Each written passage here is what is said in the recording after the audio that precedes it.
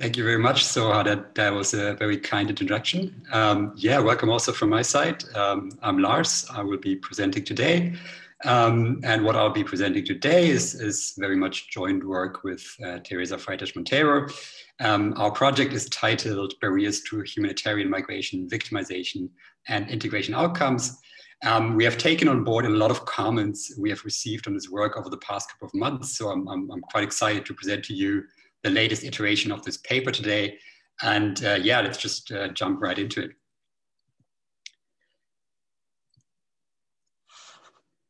So uh, before I go into the academic relevance of our project, um, let me first start out by, by motivating this project a little bit from a policy angle, uh, since I think this is what we should ultimately get us thinking. Um, so on the one hand, we all know that by now, by, we all know by now how, how grueling uh, of a journey it is for asylum seekers to make it to Europe. Um, just to give you a short reminder here, according to the IOM's missing migrant database, uh, 15,000 people died in the Mediterranean alone between 2015 and 2019 uh, when, when trying to reach the, the, the territory of the EU. Uh, those who make it through generally don't come out unscathed. Um, recent research documents uh, well that both smugglers and um, border police are perpetrators of violence and uh, inflict this violence on, on these asylum seekers. Um, on the other hand, we all know how much importance decision makers in Europe attach to the successful integration of refugees. Um, the background here is, of course, that, that refugee employment and employment quality is still much worse than that of other migrants and to improve the uh, social standing of refugees and uh, also, of course, um, for public finance considerations. Um, in particular, the economic integration of refugees is considered very important. Um, but well, once we consider these two phenomena in con con conjunction, so the, the dangerous journey on the one hand and the integration ambitions on the other hand, it quickly becomes quite clear that, that they are not independent. So even if the Europe, even even even at this stage, the European Commission clearly states that by now, uh, the, that the the journey uh, refugees have to go through is, is certainly uh, not helping their integration and uh, increases the risk developing uh, all kinds of mental health issues. Um, this could, of course, be considered somewhat schizophrenic, uh, given that the migration barriers we put into place ourselves uh, to prevent migration to Europe are directly linked to these difficulties uh, asylum seekers have during their journey. But uh, this policy dimension is not the main angle of this talk today. Uh, we will just touch upon this a bit later. Um, so yeah, what do we do in this project? Um, what we do is we're trying to tie these two phenomena together. Uh, we analyze the effect of victimization events asylum seekers endure um, during their journey and uh, link these to economic outcomes in Germany. Uh, Germany, because it was the main recipient country of asylum seekers over the past years in Europe. Um, yeah, to do so, we use three waves of the IAB BAMF uh, sub we call survey data, um, where refugees were interviewed um, uh, between 2016 and 2018, and uh, refugees were chosen based on the time of arrival. So refugees uh, that arrived between 2013 and 16 are included in the survey. And the survey includes specific information on victimization events um, asylum seekers went through during their, their flight to Europe. Uh, we mostly use this survey, so the, the, the, the IAB BAMF GSOEP survey, also to analyze the economic outcomes of interest, but we then also link it to employment biographies. Uh, that's administrative data stored at the IAB to, to verify our results. Um, well, just to, to anticipate our main results a little bit, what we find is that victimization during the journey causes little to no distortion in the general decision to become economically active in Germany. Uh, but we, what we do detect is a strong distortion around the timing of entering into economic activity. So what happens is that physically victimized refugees take up low income employment in much larger shares than others and invest significantly less into host country specific education. And as I will uh, talk about later on, we conceptualize this finding as a loss of future directedness, uh, which can be thought of as the loss of interest uh, within this victimized group compared to other groups in what happens uh, to their future. So yeah, let me let me uh, first address uh, how we derive the, the research hypothesis that we that we actually then test empirically with, with our data. Um, so, so mainly there are two clear hypotheses that can be derived from the literature. And one relates to findings from the general population, and one is very specific to the situation of newly arrived refugees. And uh, I'd like to start out with what we know from studies on the general population, because I think this is also what most of you will be intuitively thinking. Um, it is well documented by this research that uh, in the general population, and, and here what I'm listing is, is, only really selected studies and references in the paper, we, we uh, discuss uh, many more of them. Um, these studies show that there's a strong negative causal link between victimization and all kinds of, of negative outcomes you can think of in terms of lower labor market attachment, lower income, higher welfare dependency, and so on.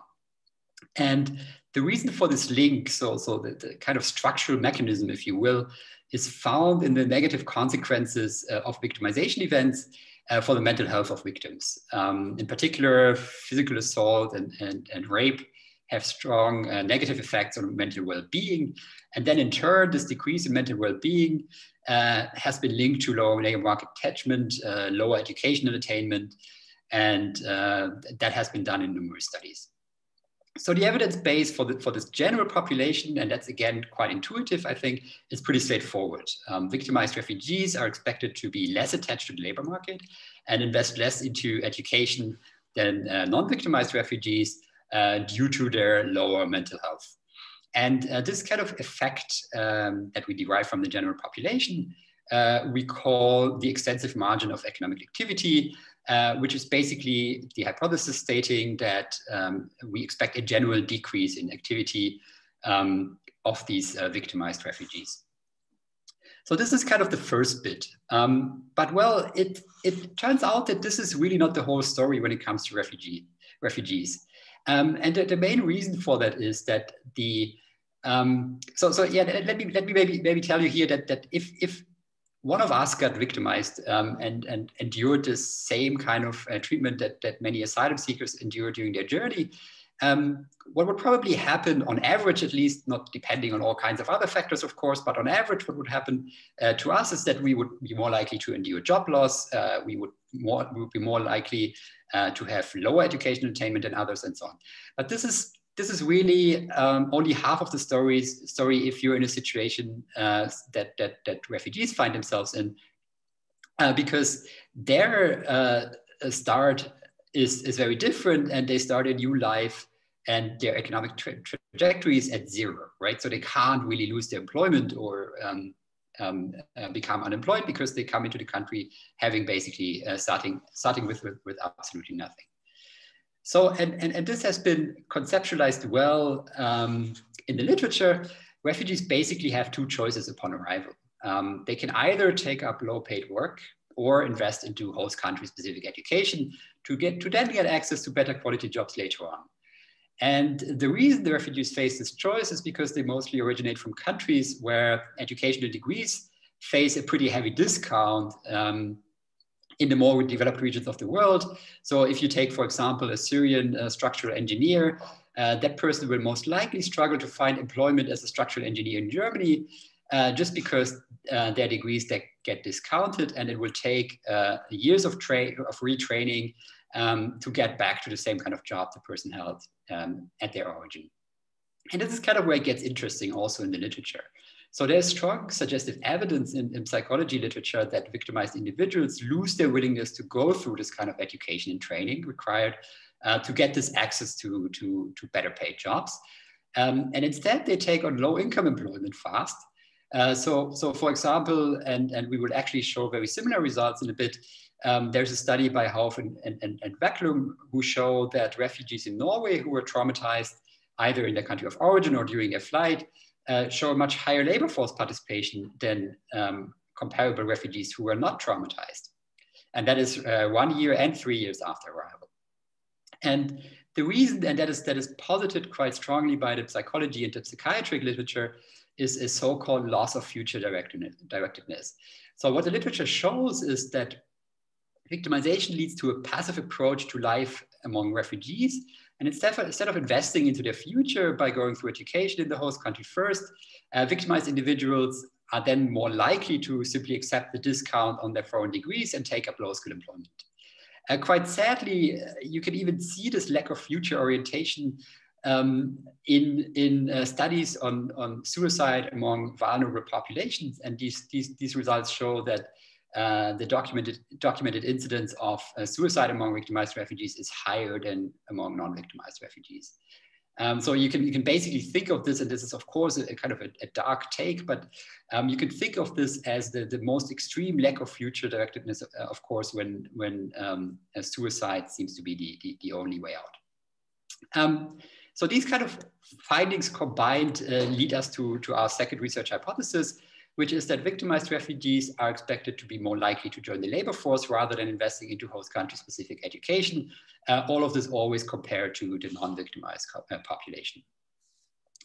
Okay, so now that I've set this up, uh, just a few more words about the, the data. Uh, again, as I already said, we draw all our information uh, on, on, refugees from three waves, wave, waves of the, um, of the IAB BAMF SOEP refugee panel survey. Uh, we only take, I should mention this here already, um, into considerations refugee into consideration refugees between 18 and 65, so those who can uh, theoretically join the labor force. Um, of these uh, three waves, uh, these three survey waves, 58% uh, of the respondents agreed to give details on their journey experience. Uh, so this includes the victimization experience, and this gives us uh, 2,622 uh, unique individuals that we have all information on, um, many of which are followed over time by the survey. And uh, to improve on this uh, further, as I, as I, already said, we also link these uh, surveyed individuals to employment biography data stored at the IAB. And then finally, to, to, complement our analysis, we also gather information on the situation at the origin of refugees. So we create a, a conflict intensity measure for each individual, which is just a, a fatality count on the province level um, in the three months prior to, to migration. Um, but this is really just to get a, a, control variable for, for victimization at the origin. We are in this project mostly interested in what's happening uh, during the journey. Okay, um, then uh, this is probably kind of kind of uh, the, the elephant in the room so far. Um, so, so how do we measure asylum seeker victimization uh, during their journey? Um, so we create two measures for that. One is a physical victimization indicator that, that, just simply takes the value one if an individual reports that he or she was uh, subjected to either sexual, uh, sexual abuse, physical attacks, uh, incarceration, um, or shipwreck, or any combination of these. And the other one is a financial victimization indicator, which takes the value one if an individual uh, went through financial fraud, uh, exploitation, extortion, robbery, or blackmail. And, um, and um, let me just uh, say right here before I show the summary statistics on that, um, these are not mutually exclusive, right? So of course you can go through financial victimization and physical victimization at the same time. Uh, here is, is a quick overview about a bit more than one third of, of our sample um, went through such experiences. Um, uh, got financial uh, financial victimization rate stands at 38%, physical victimization rate is slightly lower at 36%. And among uh, financial victimization, the most common uh, way of, of being victimized is fraud. So presumably when, when um, smugglers are being paid for, for uh, services that they did not deliver. And it's a bit more balanced among the physical victimization. So there you have uh, physical attack, shipwreck, and incarceration uh, making up for the, the main share of physical uh, victimization. Right, uh, then how do we measure refugee integration? So that's kind of our outcome variable. Um, so what we do in order to test the, the uh, hypothesis on the external margin of economic activity, uh, we create an economic activity indicator that, that takes the value one if an individual is either inside the labor force or pursues host country specific education or training and zero otherwise. Uh, again, that means basically that the idea behind this indicator is to capture people that are either economically active at the moment or plan to be economically active um, in the future. So we want to combine these two for this external margin effect. Uh, then for the internal margin effect, we separate these two out. So we have an indicator for the labor force and one for pursuing host country specific education. And then, uh, as you will see, the, the most interesting results uh, come from this internal margin of, of economic activity. Uh, and that's why we also extend the analysis to employment, the type of employment and wages earned, to shed more light on um, the mechanisms at hand and to kind of substantiate the claim that people, when they're victimized, are more likely to actually take up um, low income employment instead of investing into the future. Okay, here's just the summary statistics. Um, about 77% of the working age population uh, is either at, the moment economically active or uh, plans to be economically active. And um, as you can see in the, so that's the, the, the first line and the, the, the, second and the third line here shows you the labor force participation standing at around 75% and educational training at around 8%. These are summary statistics uh, from roughly three years uh, into this day of refugees. And as you can also see, due to the, uh, the, the, German system of dual education, uh, with the apprenticeship system, uh, some of this education and training and, and, labor force participation have an overlap. So you can be in both. Uh, then of those who are in the labor force, and uh, sorry, no, these statistics actually on the whole sample. Um, so about 22% three years into their stay are uh, of, of these refugees are employed. And um, of these, about half are full-time employed and, and 11% are part-time or marginally employed, leading to a pretty low net income of around 880 euros on average. Um, then, okay, so then what, what do we do empirically to actually test our hypothesis? So here is our benchmark specification uh, that, that models uh, the association um, between on the left-hand side, which is our outcomes of interest, and um, on the, sorry, our outcomes, and on the right-hand side, the physical victimization and the financial uh, victimization variable. So the gamma one and the gamma two, which are the coefficients on these two are in the end the coefficients of interest. Um, even in this baseline, we control for a range of uh, characteristics. So baseline characteristics just include stuff like age at the time of arrival, um, gender, and so on. Uh, pre-migration characteristics, uh, um, we are lucky to have a lot of them in the survey, so we can we have information um, on backward reported health. We have uh, information on backward reported income, the economic situation at the time uh, before migration, and uh, even stuff like life satisfaction before migration and so on. And of course, also the, the, the, the, the origin and the region of origin of people. Then uh, next control is our conflict intensity measure at the origin. And we also control for some variables that are um, um, that, that, capture the time after arrival. So that's the asylum status of people. That's a categorical variable, whether or not someone has uh, asylum status, which is important for the labor market access. We control for the time the person has spent in the country. So this MSM stands for the number of months that, uh, that uh, asylum seekers or refugees have spent in the country, and its square term is the, the next variable. Uh, then we include a country of origin fixed effect such that we only uh, compare people within the same uh, group of uh, country of origin. So basically, Syrian victimized people are only compared to um, Syrian non-victimized uh, refugees. And the last term, the delta F, is just a German federal state fixed effects. Uh, that's due to the noise that is created by um, this allocation mechanism that Germany has in place. So asylum seekers are not uh, free to move. They're, they're, they're uh, allocated into German federal states. And to add some precision to our estimates, we, we add this as a, as a control.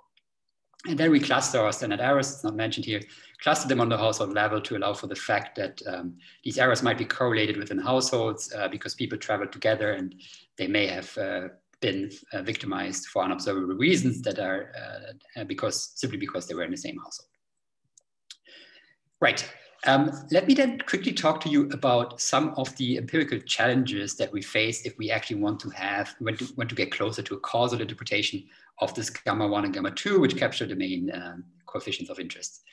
Um, so in, in, in, our setting, um, we need to be very careful about three sources of bias in the estimation in the estimates of, of, of gamma one and gamma two uh, when we're trying to assess the effect of victimization on these on these integration outcomes. And let me just quickly walk you through um, and illustrate why this is the case and why we need to uh, be kind of smart about our empirical specification to actually get out of this uh, exercise what we actually want to get out. So the first relates to selection. The first problem relates to the selection at the country of origin.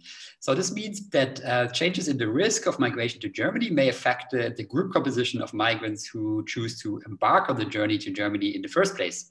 And we don't really know what kind of effect there is on these, these changes in risk on this group composition, uh, composition a priori.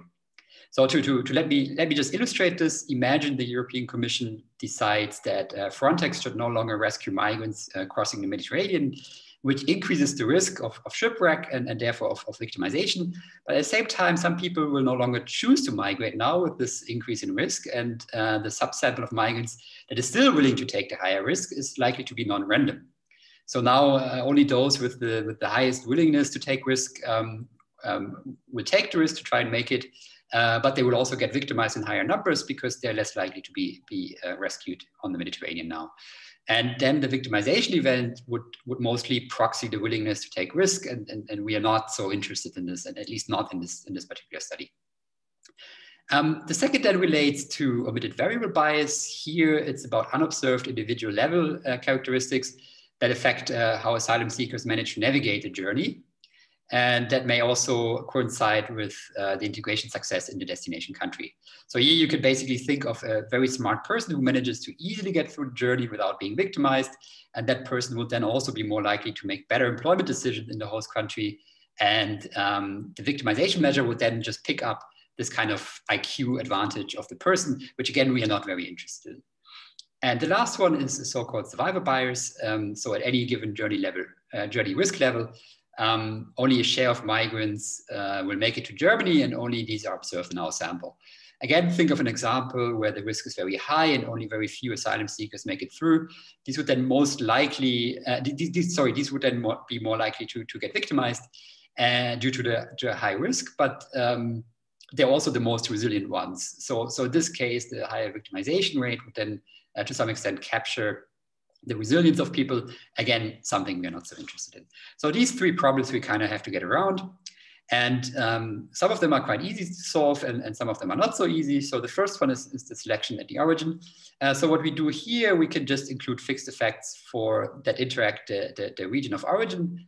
So people where people come from uh, uh with the time of departure. So basically what, what this ensures is that we only compare people say from Syria who migrated in a specific month. Uh, so all comparisons of physical victimization uh, of people physically and financially victimized to the non-victimized uh, only happen within these narrow categories. So we can rule out that, that, that it's driven by selection at the origin. And you will see later that it actually doesn't really make a big difference to our estimates. So the selection at the origin is not really a huge concern. So the risk um, of the journey doesn't drive this selection so much. Uh, for the omitted variable bias, again, that pertains to the fact that, that victimization and integration could be co-determined. Uh, we can minimize this by controlling for this very rich set of, of, of relevant pre-migration um, observable variables. Uh, so I already mentioned some of them, and I will, so, uh, I will show you a little bit of an overview about this uh, in, in a bit. Um, and the way we could select these control variables is, is, first of all theory driven. So we, we know that there's some literature on this and uh, we use this literature to, to select these control variables. But we also use a machine learning approach, which is more data driven. So there we allow basically the data to pick um, which um, control variables are most relevant. And finally, for the survivor bias, again, that pertains to the, to the lack of observations of individuals uh, who didn't make it through to Germany at, at a given uh, journey, journey risk. And this one is a bit underexplored in the literature, and that's why we conduct our own little experiment on this. So what we show is that arrival cohorts uh, do differ on, in their composition, at least on observables. Of course, we can't test this on unobservables.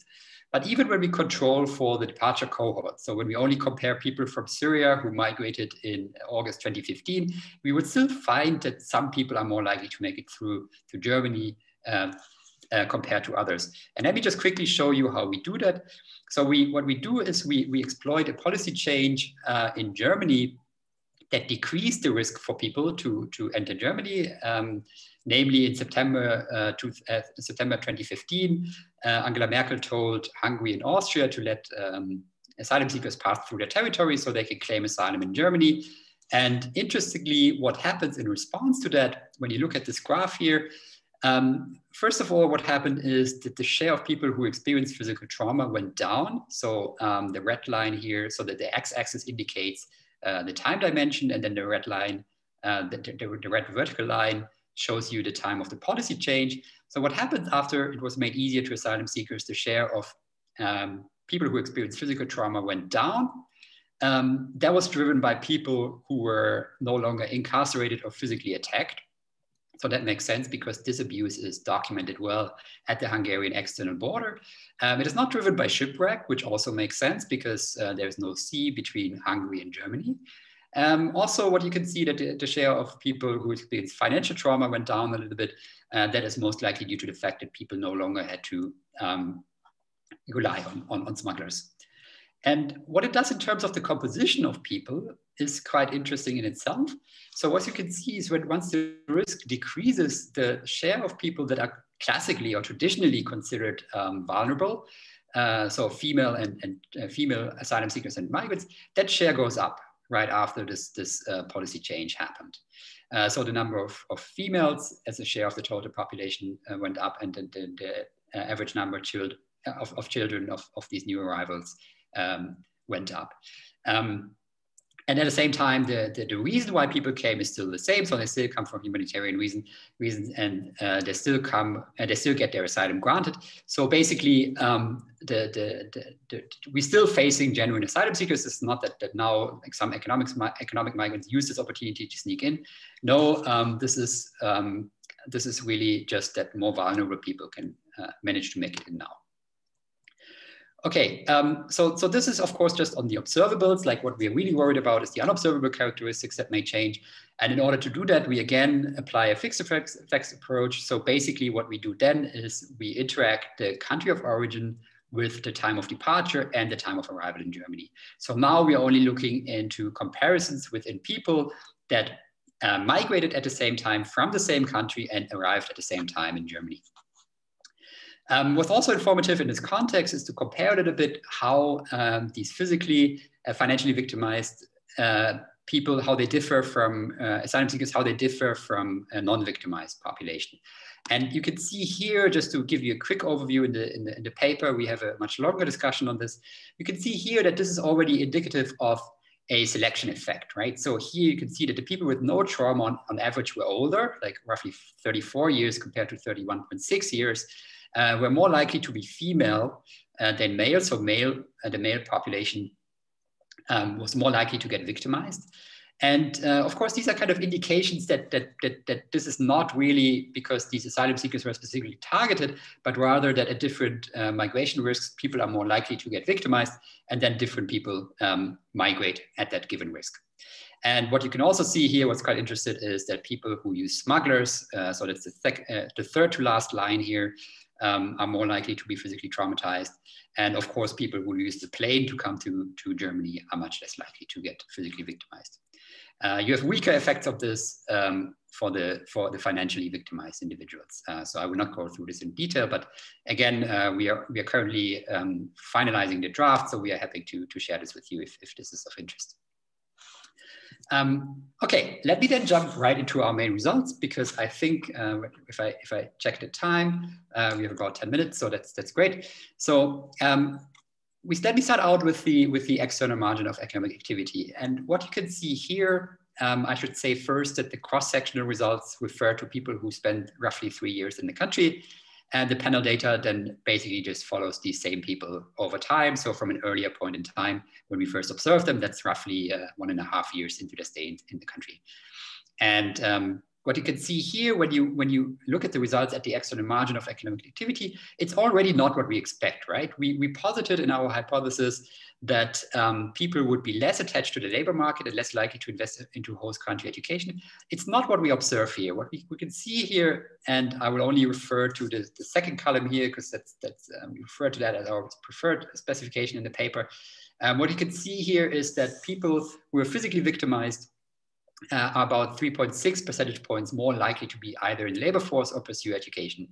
Um, that's not strongly, that's not very strongly statistically, statistically, significant, but it should tell you already that there's something more in the data than just this effect on, um, on, on, on um, mental well-being that then leads to a lower labor market attachment.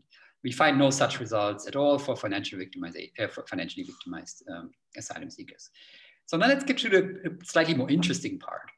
So when we look, when we zoom into labor force participation as such, you can see that these results get much stronger and also much larger. So again, if we look at the situation of asylum seekers three years into their stay in, in, in, in Germany, it's column two, our preferred specification, um, the, the, the propensity of victimized, physically victimized asylum seekers or refugees to join the labor force is 5.5 percentage points higher. So that's a pretty sizable effect. And that, that basically is consistent and, and robust in any kind of specification we tried. And we tried a lot of them because we couldn't really believe these results um, in the beginning. And we were, we, were, we were obviously thinking about a lot of reasons for that. Uh, so we tried everything, but uh, it, it, seems to be a very robust result. Now, if you turn to, turn to the people to, that are in education and training, you could basically see the absolute opposite effect of that. So in our preferred specification, three years into their stay, people um, are more than three percentage points less likely to be in education or training if they have been physically victimized. So that basically goes hand in hand with this uh, hypothesis of people uh, losing their sense of future and being less future oriented when it comes to their investment. Um, we want to look at this into, we're going to go into this in a little bit more detail now.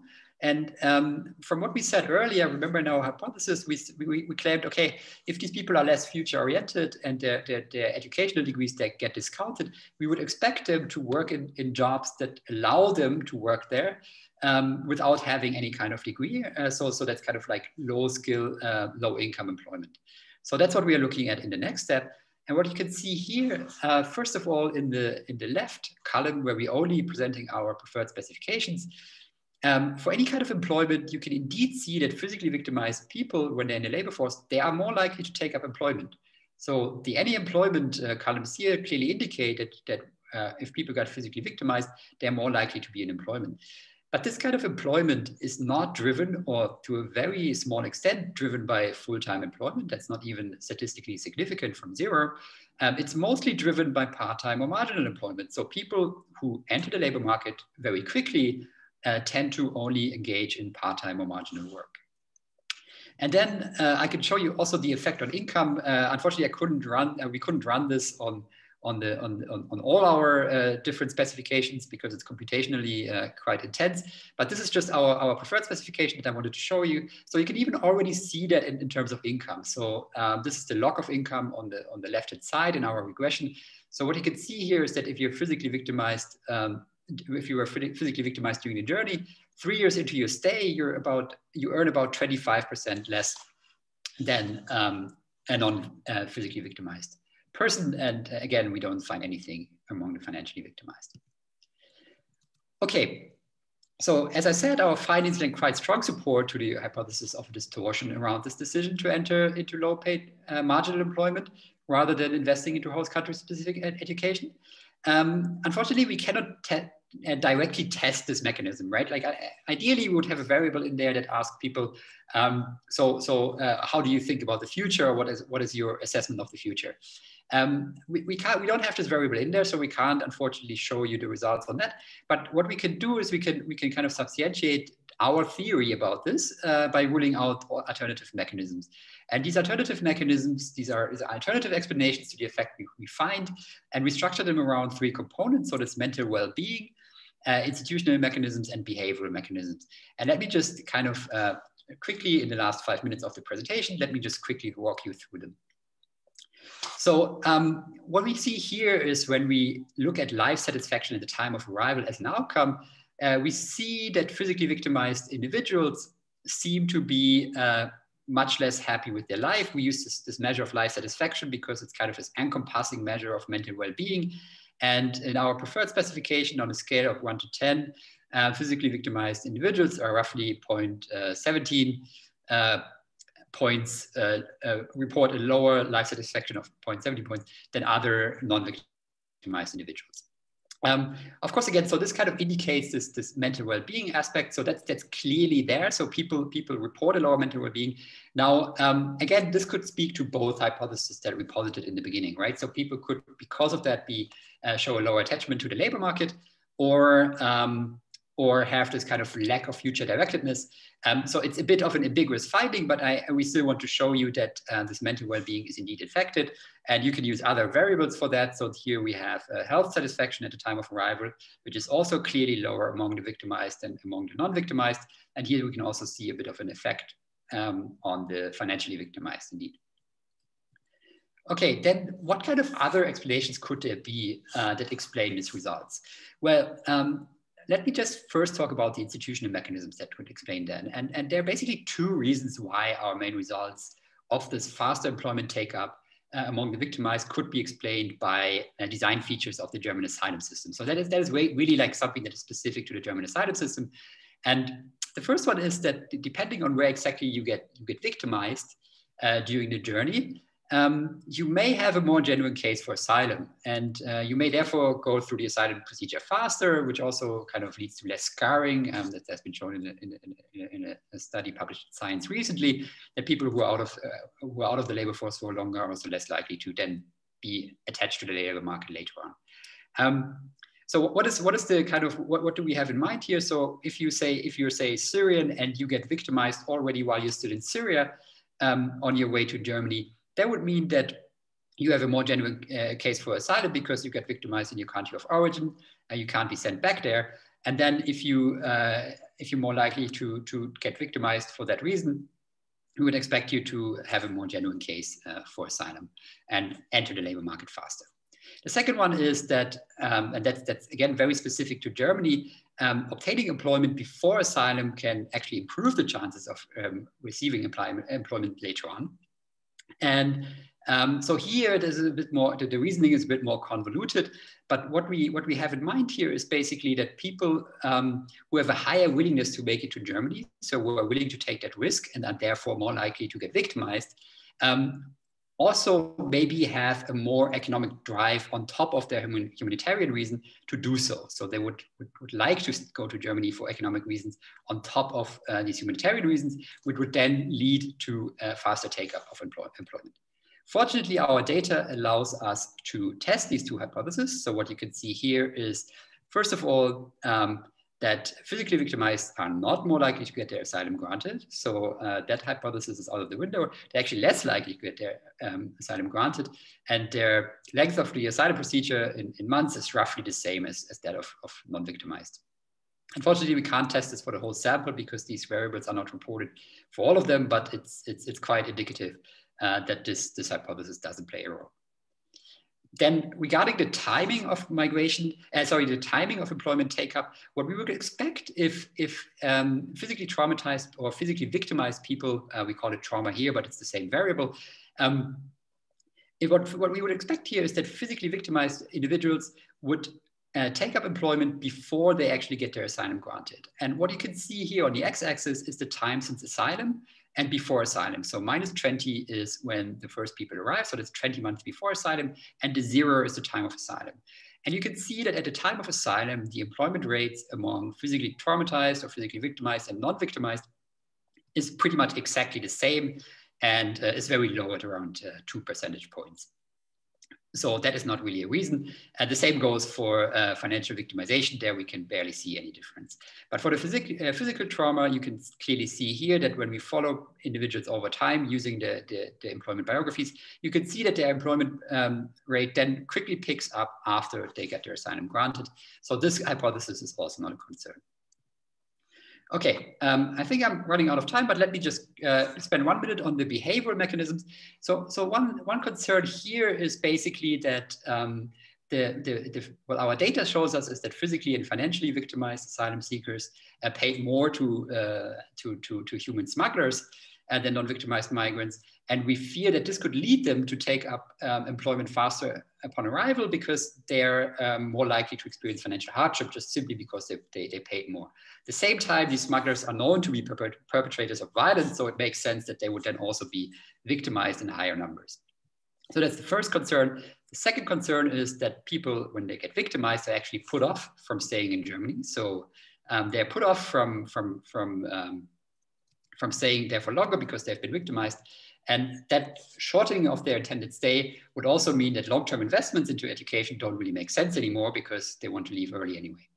So these two mechanisms we have to test. And fortunately, again, our data allows us to test this. For the financial hardship, uh, people are asked at the time of arrival uh, whether or not they're very worried about their finances. And what we can see here that uh, this is not really the case for uh, physically victimized individuals. We, we find a weak effect for the financially victimized, uh, which kind of makes sense, of course, because they uh, lost money during their journey because they were uh, to some extent um, ripped off by smugglers. They were, they were uh, you know, robbed or mugged on the way. so they lost some money. so, so, so for them to to go through more financial hardship is, is, is kind of a, sensible finding. Uh, we don't really find anything for the physical victimization where we would expect it if our hypothesis was to be true. Uh, for the intention to remain in Germany, well, we find uh, that if I, if I can, can uh, draw your attention to column two here again, uh, we find that um, there's basically no effect on the intention to uh, remain in Germany for both physically and financially victimized um, individuals upon arrival. And um, that effect only in column three becomes slightly larger for the physically victimized once uh, we go through this over time effect. Uh, we don't think that's very particularly useful here. We, we still show it uh, because you know once people stay for longer in the country, uh, this kind of intention to remain becomes convoluted with other outcomes, right? So um, becomes more likely that you want to stay in the country if you already have a job or if you're already in education. So it's not particularly telling us very much. Um, the main result here is column uh, one and two, and here we can really see no effect that um, physically victimized individuals would uh, stay or would intend to stay for a, a, lower period of time or shorter period of time in uh, Germany. Okay, uh, that's it. So uh, let me just conclude. Um, so our findings lend very strong uh, support to the hypothesis that victimization indeed distorts the human capital investment decision. So people, victimized individuals favor low income employment over, um, over uh, host country specific educational investment. And we think that the, the, the main driver of this is this uh, loss of future directedness that has been found in the, in the psychological literature multiple times. Um, and that driver is the stronger driver compared to this um, effect that we would expect from pure uh, mental health related issues, which, which posit a lower labor market attachment. Uh, we do not find anything like that for financially victimized refugees, which is also kind of when we, when we dive into the literature on victimization, we saw that you know these financial victimization events are not perceived as severe as physical victimization. So that makes sense that, that, it traumatizes um, individuals less. Um, but of course, these people do experience financial hardship if they if they were financially victimized. Um, what like on the policy dimension, and that's the last thing I'm going to say, um, it all our findings kind of really cast doubt on the swift employment uh, premise uh, as a, a, primary success metric for refugee integration. So uh, as we have seen, like the swift employment can also be an unintended consequence of barriers to migration. So if you take an extreme example, if you make it very hard to come, and everyone who comes here gets gets uh, physically traumatized, they lose their um, law, they lose their, their future directedness and, and kind of just live in the present and take up low skill employment, well, you will find that people um, take up employment faster, but, but it's not exactly an outcome that you would want. And even if you're like a stone cold um, economist, you would, would, would still see that this distortion that, that becomes visible because people get victimized and, and only um, engage in low income work will at a later stage show in welfare losses in the country because of course if an engineer works as an engineer that person will earn more income and pay more taxes. So there's also this economic dimension to it. Uh, but with that said i think i'm already slightly over time and uh, yeah let me thank you very much for your attention and yeah looking forward uh, to your questions if you have any. Thank you Thank you very much, Lars, for the presentation. And let's open the floor uh, right away for any questions and discussions. Uh, you may un unmute yourself and ask the question, but you could also write the question in the chat box and I'll read it out uh, for Lars and Teresa.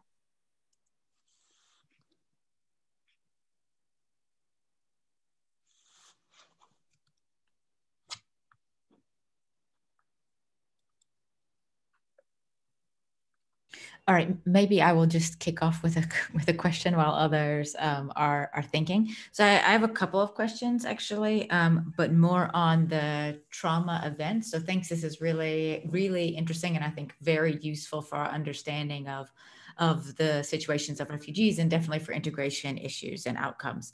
So um, these these negative events that they have come into contact with do you have information on the survey? Because right now you're using everything dichotomously, right? Like it happened or it didn't happen. Um, but for some people, they have multiple trauma events also, right?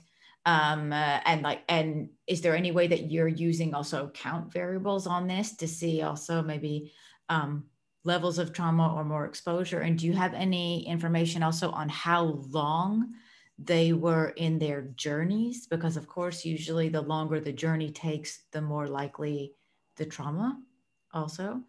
Um, and I'm not sure if you have any information also on how their economic situation before they migrated, because one of the things that we know with a lot of refugees is the better off refugees can make this journey much faster and are therefore then much less likely to be victimized. Um, so there are a lot of other things mixed up in there, and I'm just wondering if you can get um, at a bit more of this also. Thanks. Yes, um, maybe maybe let me answer the, the last two points, and I can leave the the count uh, of traumas to to Teresa because I, I, think she's looked into that uh, quite a bit over the past uh, weeks. Um, so yeah, first of all, the the, the the, the, the, positive answer I can give you is that we, we, we looked into all of this. Um, so the duration of the journey, we actually have information uh, precisely by day even. So we know exactly how long people traveled.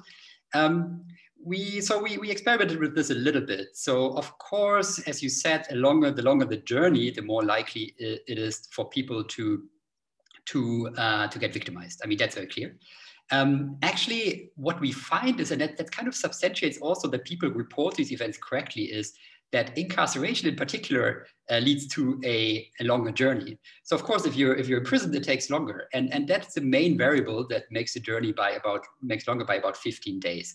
Uh, all the others only slightly ex extend the, the duration of the journey. Um, so the problem with this journey variable is that when we when we include it as a control variable, we can do that, right? And it, it, the results are very robust to that, even even though it's, it's almost strange because of course they're they're correlated, right? I mean by by design almost. Um, but even when we include them, the, the, coefficients that we get are almost exactly the same. So that's quite reassuring. Um, at the same time, we think that it's not really a control variable that we want to uh, include by default because of this uh, correlation between uh, between the duration of the journey and, and, and the victimization event. Uh, but what we do also in terms of taking this off. Just a quick Sorry. note. So we do have in our uh, in our lasso version in uh, the specification for in the cross sectional we do have uh, the duration of the journey. So right, it is right. included there. It's not a preferred specification because it's really a data-driven method. And as we said, there might be things that might create the problems that Lars said. But so this first specification that was thrown in tables, it does include the duration of the journey. And all specifications include the economic situation relative to the average in the country. So it's um, it's a, a, scale that asks how do you think do you think you stand economically relative to the other people in your home country. So yeah, so exactly. So we have we have um, information on all these things, and then uh, maybe I don't know, Teresa, uh, should I comment or, or, do you want to comment on the on the count variable? So yes, yeah. we, we can count these these these traumatic events, but yeah, I leave it to you. So we we we did several experiments. So we did um, linear sum, we did with the quadratic, we did uh, some of uh, physical and financial victimizations, and we we don't find that there is a significant different uh, effect. So the magnitude of the coefficient doesn't really differ whether you had one or you had two or, or, or more. So just the fact that you had um, one and two, of course, two or three is, is, slightly larger, but we do find still that the, the, the, difference in the coefficient is not so big. So we do have this in the paper in the later section, but we just didn't present it here um, just for the sake of time. But yeah. Exactly. Yeah, maybe maybe one thing one thing to add to that as well is um, so it seems that uh, some of the, the, the, the, victimization events drive the results a bit more than others. So for example, physical assault um, has a like a stronger effect uh, than, than other victimization events. And uh, so we think like we would then have to kind of combine these individual specific effects and then you kind of get uh, you know to a point where you just don't have a lot of variation anymore in, in, in your data um, so that's also one of the reasons why we don't think that we would uh, find much more um, when we kind of compare uh, the sum or the, the, the, different levels of victimization. Yeah. Um, if Melissa is done with her question, Uh, Ali has a question and I'll read it out for you. Do you think the physical trauma effect you observe among refugees is unique or is the observed impact of trauma reflective of a more general psychological consequences of trauma? Also want to ask about origin country factors. Thank you, Ali. Thanks for reading. Sure. Yeah, thanks for thanks for your questions. By the way, uh, that's that's that's great.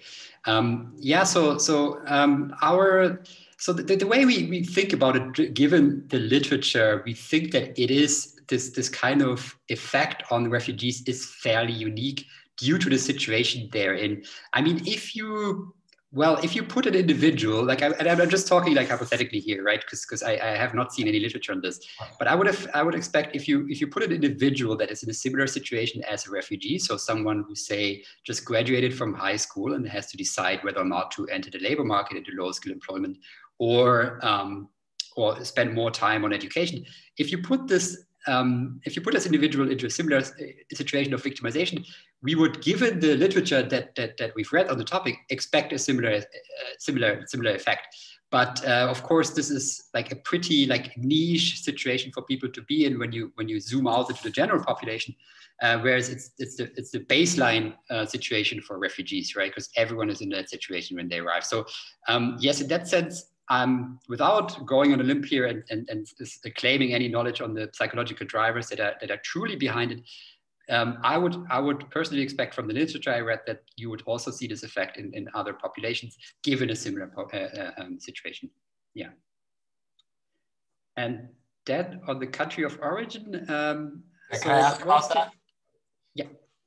So I have a question that I wanted you to comment on something that's not what you studied. So it's one of those questions like can you ask, answer my question about what you didn't study? So you said you have all these great origin kind of context factors, right, in your data. And I'm just curious if, again, this isn't something you did, but is there a way to maybe start um, maybe uh, parsing out some of these different kind of motivations, decision-making factors that people made, I mean, of the refugees that left? Like what were the differences between different people that left at different times or in terms of, I'm wondering, is there a way to unpack it a bit? The Syrian refugee crisis or just refugee migration in particular. And I, will tell you why I'm interested in that. It's more from a theoretical point of view. In the general theories of migration, why people move around economic migration, there's a quite a bit of a nuance about how these things work. But when it comes to like the refugee kind of decision making and that that part of it within like general migration studies, it's kind of given to like a black box, like, oh, they're forced to move. And it's kind of like, that's it. We, we, we kind of stop there. We don't go any further about what are the kind of particularities of what's happening about five refugees in the same place, same war zone. Are all the decisions the same? Like, are things different? Like, what are those factors? And I'm just curious, do you think maybe this data set you have is perhaps might be able to unpack some of that? Thank you. Yeah, yeah. Thanks for the question. I, I think that's that's very interesting. Uh, um, I don't know, because uh, I, you just come in if you if you if you want to give your take on this, of course. Um, so my take on this is we can disentangle some of this uh, based on this rich set of, of variables that we have. So they, they, they the variables that we have include information, for example, on the motivation for for leaving the the host country. Uh, the thing is, though, that um, since our sample is from 2013 to 2016, uh, Syrians indeed make up for the vast majority of people. And most people say that they came for humanitarian reasons. Uh, so that's the number one reason. What we can what we can tell is that sometimes, uh, so people are allowed to give multiple answers there, right? And we can see that that some people also um, state that they also came for economic reasons on top of this uh, humanitarian reason. So I, I think what, what you're suggesting is to kind of explore more and I guess maybe that's not part of this particular paper, but I, I, it's certainly interesting um, to explore more why and in what context uh, these reasons for migration change. And we do have all these background variables. Like, for example, we can clearly say if this person migrated from a war zone because we have the data on the number of fatalities in the region prior to migration, and then whether or not these regions, uh, reasons change and, and how, what are the elasticities between these things. I think that's, that's, that's super interesting and it uh, certainly can be done given the data, but um, yeah, I guess for this project, it, it's already pretty, a, pretty ambitious project. So uh, um, we're trying to stick uh, to, the, to the main findings for now, but uh, thanks, it's a, it's a good idea, I think, yeah.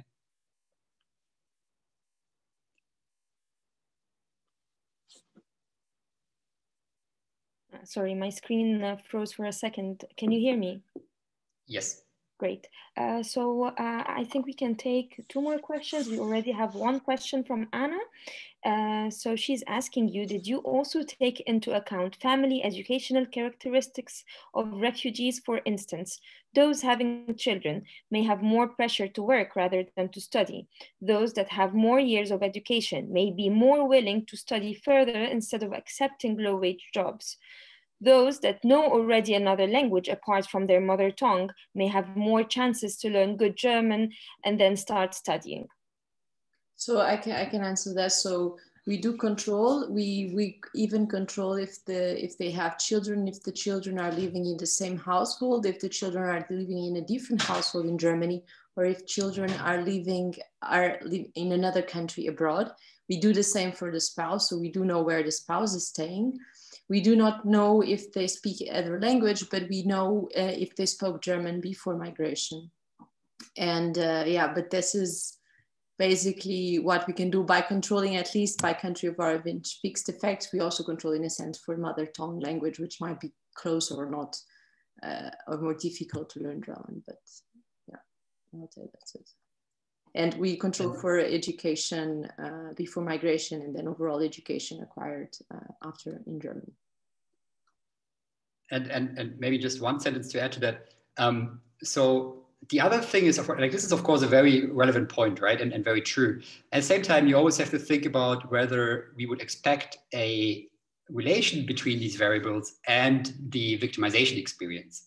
So um, so, I mean, of course, these may have an effect on whether or not you take up employment, but they may not affect um, the, the, victimization experience. And then uh, it would just be kind of a control variable that you add to kind of get more precision to your estimates, but it's not necessarily a confounder, right? And uh, but I agree with you. I mean, they might be correlated also with the victimization event, but that's kind of something like kind of the, the, the conceptual way that, that we have to think about it uh, when, when we include these, uh, these, these, these control variables in the regression. Yeah.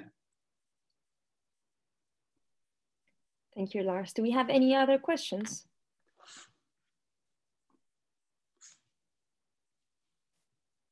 Okay, then uh, let's uh, conclude with the seminar. Anyway, Lars and Teresa, both of them, if you just Google their names, you're gonna find their email. So if you have any other questions at any point of time, I'm sure you can email them and they'll, uh, they'll take care of your question. Otherwise, uh, let me just quickly tell you that our next event is this month on the 24th. And actually the speaker is with us here today in the seminar. Uh, she, she's uh, Cordula Bieri, and she will be presenting um, a study on asylum seekers um, and refugees' health and well-being during the pandemic in Ireland, the role of integration and ethnic equality mainstreaming. Thank you very much for this great presentation again. It will be available very soon on YouTube once uh, we can process the video and looking forward to welcoming you all uh, again um, in a couple of uh, days uh, for the next seminar. Enjoy the rest of your day and it was very nice seeing you all today.